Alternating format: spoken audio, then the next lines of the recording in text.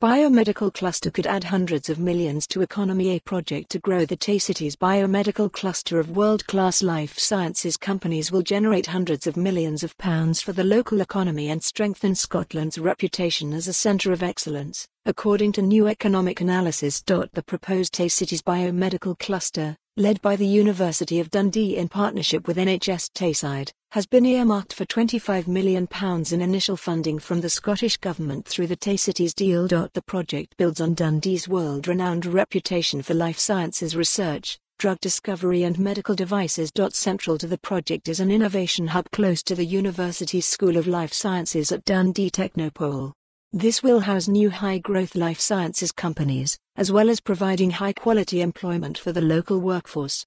In addition, a state-of-the-art medical device research and development facility will be developed in the School of Medicine and NHS Tayside. A recently completed economic analysis forecasts that the local economy will benefit in excess of £175 million with 250 new jobs by 2033. Professor Sir Mike Ferguson, Regius Professor of Life Sciences at the university and one of the leads for the Biomedical Cluster project, said, we have a fantastic opportunity to build on the considerable strengths we have established in life sciences research and medical technology for the benefit of the Tay Cities region.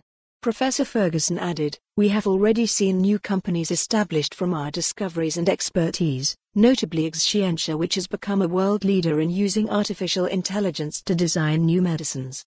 The Biomedical Cluster Project will catalyze a sustainable step change in that kind of innovation led growth, accelerating company formation, company growth, and delivering new jobs for the region and a sizable economic boost.